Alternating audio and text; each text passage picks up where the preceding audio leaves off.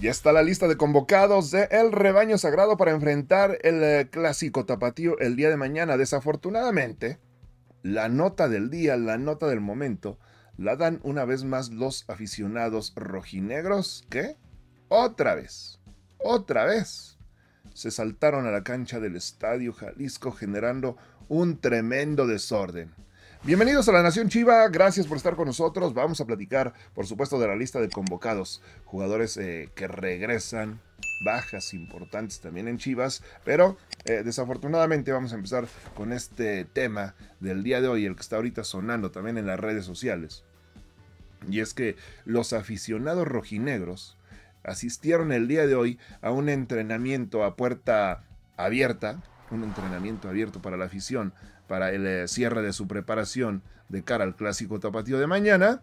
Y una vez más se saltaron a la cancha, como en aquel 2015 cuando Guadalajara los estaba derrotando cuatro goles a uno y prefirieron meterse a, su cancha, a la cancha para pues evitar que aquello eh, terminara peor, terminara en una goliza histórica.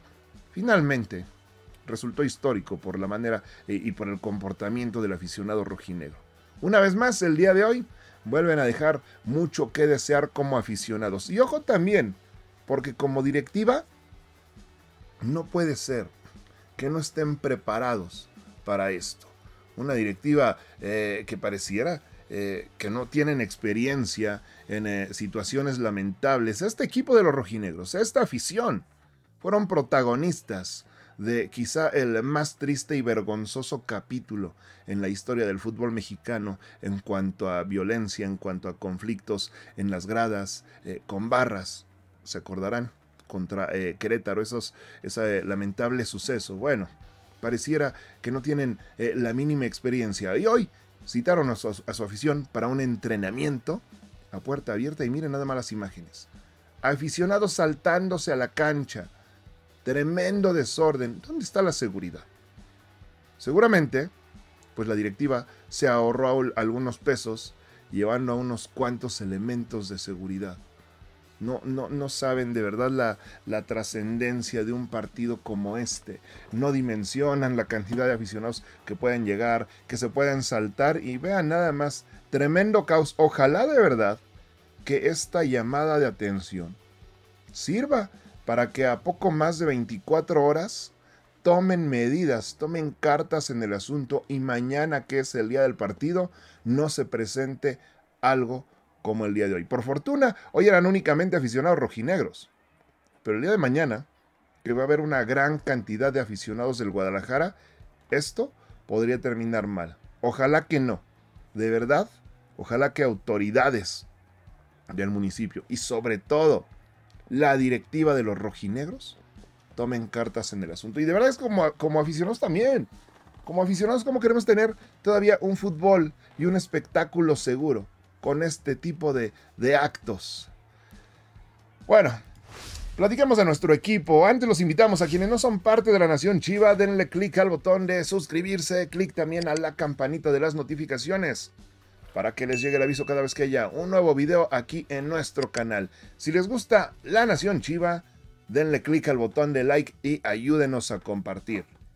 Vamos a platicar un poco de la lista de convocados del Guadalajara. Más tarde también tendremos el video eh, completo de cómo llegan los equipos. Por ahora, les adelantamos, Javier Chicharito Hernández regresa a una convocatoria. Buenas noticias para todos aquellos detractores que dicen que Javier Hernández solamente va a jugar en Guadalajara, que no va a jugar de visitante, que fue lo que criticaban la semana pasada. Bueno, la semana pasada, eh, perdón, desde hace 15 días traen esta nota.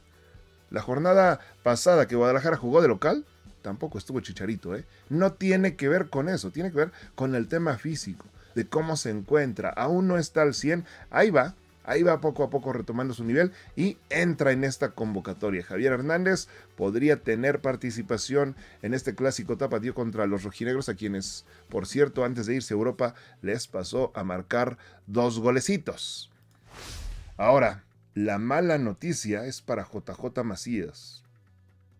Para que entrara Chicharito en la convocatoria, tuvieron que cepillar a otro y ese fue JJ Macías. Queda fuera de la convocatoria únicamente por eh, decisión técnica no se reporta lesionado, no reporta ningún compromiso, permiso especial, nada. Por decisión técnica, JJ Macías no podrá tener minutos contra los rojinegros, seguramente le duele. Eh, los jugadores, eh, principalmente, que han sido formados en la cantera del Guadalajara, saben lo que significa un clásico tapatío. JJ lo sabe y desafortunadamente no va a poder tener participación en este encuentro porque Fernando Gago no lo requirió. Vamos con los que sí. 22 elementos convocó Fernando Gago. Ahora, son 22. Uno se va a ir a la banca, ¿eh? ¿Quién será? Perdón, a la tribuna. Porque nada más entre los 10 de cancha, los... Eh, perdón, los 10 de banca, los 11 de cancha son 21. Aquí sobra uno. Alguien se va a ir a la grada. Eh, estos son los convocados. Dos arqueros, Tala Rangel y Oscar Wally. Defensas centrales, Pollo Briseño, Tiba Sepúlveda, Chiquete Orozco, Alan Mozo, José Castillo y Leo Sepúlveda. Mediocampistas. Ojo, aquí tampoco está el Chapito Sánchez, ¿eh? Revisando la lista, no está el Chapito Sánchez. Mediocampistas. Pocho Guzmán, Eric Gutiérrez, Fernando Beltrán, El Oso González, Lalo Torres, Yael Padilla y Ariel Castro. Delanteros, Pavel Pérez, Conejito Brizuela, Chicharito Hernández, Kate Cowell, Ricardo Marín, el Charal Cisneros y el Piojo Alvarado. Esta es la lista completa de los convocados. Recuerden que el partido del día de mañana es a las 9 de la noche. 9 de la noche, Guadalajara enfrentando a los rojinegros en el Estadio Jalisco. También antes, antes de ello, va a jugar el Tapatío a las 7 de la noche. 7 de la noche Tapatío recibe a Celaya en el estadio Akron, partido de los cuartos de final, partido de vuelta. El Tapatío está perdiendo 4 a 3. Con un triunfo el Tapatío está del otro lado. Solamente basta eso, ganar. Entonces, a las 7 el Tapatío, a las 9 el equipo varonil. Estamos hablando de este día sábado. Clásico Tapatío, 9 de la noche. Y para el día domingo, nuestro equipo femenil va a recibir al equipo de Cruz Azul. Tenemos transmisión de la previa este sábado a las 8 de la noche, transmisión de la previa del clásico tapatío. Después el día domingo, transmisión de la previa a las 4 de la tarde de nuestro equipo femenil enfrentando a Cruz Azul. Así que pues ahí está la agenda roja y blanca para este fin de semana. Más tarde también tendremos otro video de cómo llegan los equipos al clásico tapatío. Chivo hermanos. Por ahora es todo, gracias por vernos. Hasta el próximo video de la Nación Chiva. Si te gustó este video, ayúdanos a compartirlo. Gracias por seguir en nuestro canal. Si no estás suscrito, suscríbete y si quieres estar informado en todo momento de la actualidad del rebaño sagrado, activa la campanita y nosotros te avisaremos en cuanto algo importante suceda en la Nación Chiva.